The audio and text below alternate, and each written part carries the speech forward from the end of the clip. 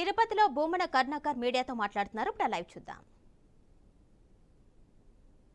వనస్పతి ఉన్నట్టుగా ఉంది అని పత్రికా సమావేశంలో ప్రకటించినటువంటి శ్యామలరావు గారు మీరు బెదిరించిన తరువాత మొన్న పత్రికా సమావేశం ఏర్పాటు చేసి అందులో పంది కొవ్వు చేప నూనె కలిసినట్టుగా ఉందనని మీకు అనుగుణమైనటువంటి తీర్పులు ఇచ్చేటువంటి శ్యామలరావు గారు నిన్న మొత్తం ఆలయ ఆగమ సలహా పండితులని ప్రధాన అర్చకులని వీళ్ళనందరినీ కూడా పిలిచి శుద్ధి ఎలా చేయాలి యాగం చేయాలనా శుద్ధి చేయాలనా ఏం చేస్తే బాగుంటుంది అనని. మీరే మీ పాలనలో చంద్రబాబు అధికారంలోకి వచ్చిన తరువాత మీ ద్వారా రిజెక్ట్ కాబడ్డటువంటి అది వాడనటువంటి నెయ్యి. రిజెక్ట్ కాబడ్డటువంటి నెయ్యిని చూపించి మొత్తం అంతా కూడా వైఎస్ఆర్ కాంగ్రెస్ పార్టీ హయాంలో ఈ నెయ్యే వాడారు అనని దమ్ముగా అబద్ధాలు చెప్పే చంద్రబాబు నాయుడు గారు నందిని నెయ్యి ఎందుకు వాడటం లేదునని గుండెల మీద చేసుకొని చెప్తాను అని చెప్తున్నటువంటి లోకేష్ గారు పద్నాలుగవ సంవత్సరం నుంచి మీరు అధికారంలో ఉన్నప్పుడు పంతొమ్మిది వరకు నందిని నెయ్యిని కర్ణాటకకు సంబంధించిన నందిని నెయ్యి ఎందుకు వాడలేదు? ఒక్క టెండర్లో మాత్రమే నందిని నెయ్యి ఆరు నెలలు మాత్రమే ఎందుకు సరఫరా చేయబడింది? మీ హయాంలో సరఫరా చేయబడ్డటువంటి కంపెనీనే వైఎస్ఆర్ కాంగ్రెస్ పార్టీ అధికారంలోకి వచ్చిన తరువాత కూడా అనేక పర్యాయాలు ఎందుకు నెయ్యిని సరఫరా చేసింది అనే ప్రశ్నలకు సమాధానం చెప్పాల్సిన అవసరం మీకు లేదా? ఆ రోజున అతి తక్కువ ధరకు నెయ్యి ఎలా సరఫరా అవుతోంది అని ప్రశ్నిస్తున్నటువంటి మీరు మీ దొంగ మీడియా ద్వారా ఆ రోజున కూడా ఇదే ధరకు నెయ్యి ఎలా సరఫరా అయ్యింది అన్నటువంటి ప్రశ్నలకు సమాధానం చెప్పవలసింది ఎవరు చంద్రబాబు నాయుడు గారు? మీరు కాదా? దీనికి సంబంధించి ఆనాడు పద్నాలుగు నుంచి పద్దెనిమిది పంతొమ్మిది వరకు దాదాపు పద్నాలుగు సార్లు ఇలా నెయ్యి సరఫరా చేసినటువంటి సంస్థలలో ఏదో రకమైనటువంటి కల్తీ ఉందని మీ హయాంలో తిప్పి పంపినటువంటి ట్యాంకర్లు నిజం కాదా? ఈ రకంగా కల్తీ నెయ్యను వాడేటువంటి పరిస్థితి లేనే లేదునని ఆనాటి మీ హెల్త్ ఆఫీసర్ షర్మిష్ట చాలా స్పష్టంగా మీడియా సమావేశంలో మా టీటీడీలో ఎలా నెయ్యికి సంబంధించి టెస్ట్ చేసేటువంటి ల్యాబ్ ఎలా ఉన్నది దాదాపు పది మంది నిపుణులు ఉన్నారు వీళ్ళందరూ కూడా తరిచి చూసిన తర్వాత మూడుసార్లు మళ్ళీ దీని మీద ప్రత్యేకమైనటువంటి ల్యాబ్ టెస్టులు జరిగిన తరువాతనే ఆ ట్యాంకర్లను లోనికి అనుమతిస్తాము అని చెబితే దాన్ని మీరు పట్టించుకోరు. వైఎస్ఆర్ కాంగ్రెస్ పార్టీ మాత్రం నెయ్యిలో పంది కొవ్వు కలిపింది యానిమల్ ఫ్యాట్ వాడింది అనని మీకు నోటికి తొచ్చినంతగా మాట్లాడి జనాన్ని ఒప్పించేటువంటి ప్రయత్నం చేస్తారు. ఇదే కంపెనీలు వైఎస్ఆర్ కాంగ్రెస్ పార్టీకి లో అధికారంలో ఉండగా సరఫరా చేసినటువంటి కంపెనీలే కంపెనీనే మీ హయాంలో సరఫరా చేసిందా లేదా? ఛాలెంజ్ చేసి అడుగుతున్నా. దీనికి సమాధానం చెప్పవలసినటువంటి అవసరం చంద్రబాబు గారి మీద ఉన్నది. ఒకవేళ కాదు అని అంటే ఏ శిక్షకైనా మేము సిద్ధంగా ఉన్నాం. చంద్రబాబు నాయుడు గారు మీరు బురద తల్లి ఈరోజు బురద కూడా కాదు అంతకంటే నీచమైనటువంటి దుర్గంధాన్ని వైఎస్ఆర్ కాంగ్రెస్ పార్టీ మీద చల్లటమే కాకుండా సాక్షాత్తు వెంకటేశ్వర స్వామి ఆలయ ప్రతిష్టనే సర్వనాశనం చేయటానికే కంకణం కట్టుకొని మీ స్వార్థం కోసమని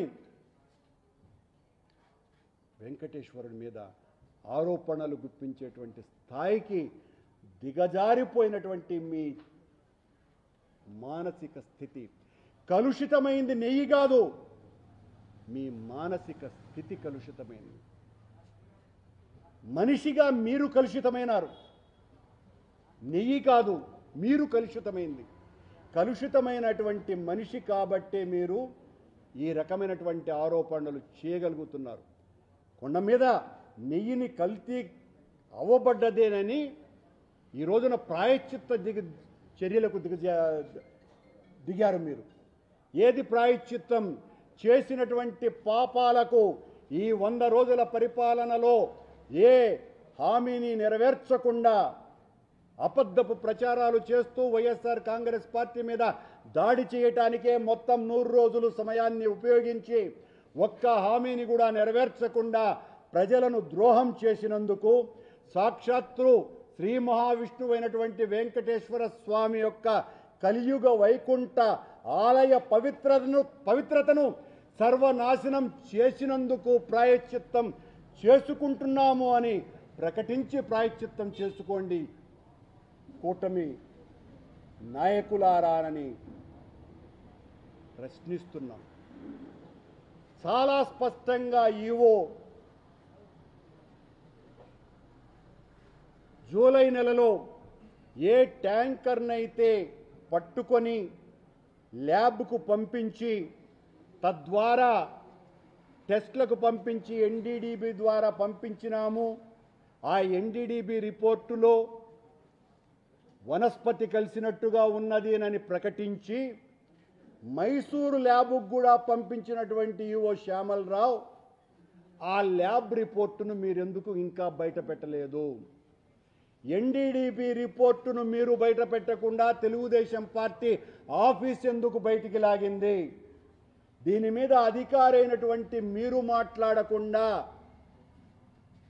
యానిమల్ ఫ్యాక్ట్ కలిపారు అనని ముఖ్యమంత్రి ఎలా మాట్లాడారు?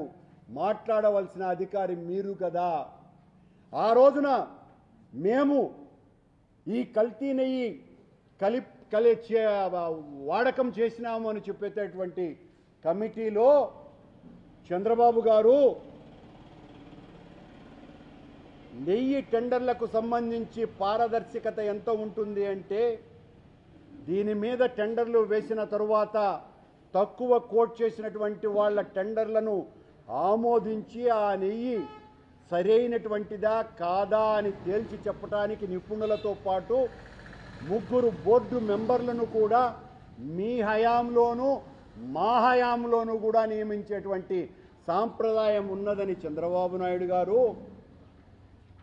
మేము ప్రభుత్వం అధికారంలో ఉన్నప్పుడు మా ప్రభుత్వం అధికారంలో ఉన్నప్పుడు ఈ నెయ్యి సరఫరా చేసినటువంటి వాళ్ళ నెయ్యి నాణ్యమైనటువంటిదా కాదా అని నిగ్గుదేల్చటానికి వేసినటువంటి కమిటీలో సభ్యులు ఈరోజు మీ ప్రభుత్వంలో మంత్రిగా ఉన్నటువంటి పార్థసారథి గారు ఈరోజు మీ ప్రభుత్వంలో మీ పార్టీలో ఎమ్మెల్యేగా ఉన్నటువంటి వేమిరెడ్డి ప్రశాంతి గారు ఉన్నారు అన్నటువంటి విషయాన్ని గుర్తు చేస్తున్నా. అలాగే అమిత్ షా గారికి అత్యంత ప్రియాతి ప్రియుడు మోడీ గారికి అత్యంత సన్నిహితుడు వైద్యనాథన్ కృష్ణస్వామి. వీళ్ళు ముగ్గురు అందులో సభ్యులు. కావాలంటే శ్యామలరావు గారిని దాని మీద కూడా ప్రకటన చేసుకోవచ్చు. వాళ్ళు సభ్యుల కాదా అన్నటువంటి విషయం. నిగ్గు తేలాలి. మేము తప్పు చేసి ఉంటే మీరు నిజాన్ని బయట పెట్టడానికి దీని మీద సిబిఐ విచారణ చేయించాలి. సుప్రీంకోర్టు జడ్జితో విచారణ చేసుకోవటానికి కూడా మేము సిద్ధం. నిజం నిగ్గు తేలాలి బయటికి రావాలి. దీని మీద ఈనాడు పత్రిక అయితే ఈ రోజున ఎంత దుర్మార్గమైనటువంటి రాత. ఈనాడు పత్రిక నిజంగా నిజాయితీదే అయితే ఈ రోజున నా పత్రికా సమావేశం మొత్తం అంతా కూడా రేపు పతాక శీర్షికలతో ముందుకు రావాలి. సరిగ్గా తొంభై తొమ్మిదో సంవత్సరం రాజశేఖర రెడ్డి గారు ప్రతిపక్ష నాయకుడిగా ఉన్నప్పుడు రామోజీరావు గారికి ఒక బహిరంగ లేఖ రాశారు. మీరు ఎంత దుర్మార్గంగా రాతలు రాస్తున్నారు అని నా ఉత్తరం మీ పేపర్లో ప్రముఖంగా రావాలి అని అంటే మరుసటి రోజు రామోజీరావు గారు మొదటి పేజీలో వేసినారు. మళ్ళీ రాజశేఖర్ రెడ్డి గారు ప్రభుత్వంలో వైద్య విద్యుత్ శక్తి శాఖ మంత్రిగా ఉన్నటువంటి షబ్బీర్ అలీ మీద ఇలాంటి ఆరోపణలు అవినీతి ఆరోపణలు చేసినప్పుడు షబ్బీర్ అలీ కూడా ఒక ఛాలెంజ్ విసిరి నా విమర్శను మీరు పత్రికలో మీరు ఏ రకంగా అయితే రాశారో ఆ రకంగానే రాయండి అన్నప్పుడు కూడా రాశారు. ఈరోజు ఈనాడు పత్రిక కిరణ్ గారికి నేను ఛాలెంజ్ చేసి చెప్తున్నా. మీరు రాసినటువంటి అన్నీ కూడా అబద్ధాలు. మీరు ఉద్దేశపూర్వకంగా చంద్రబాబు నాయుడు గారిని నెత్తిన మోపుకొని వైఎస్ఆర్ కాంగ్రెస్ పార్టీని జగన్మోహన్ రెడ్డి గారిని సర్వనాశనం చేయటానికి కంకణం కట్టుకొని మా మీద ఆరోపణలు చేస్తున్నారు. మేం ఛాలెంజ్ చేస్తున్నాం.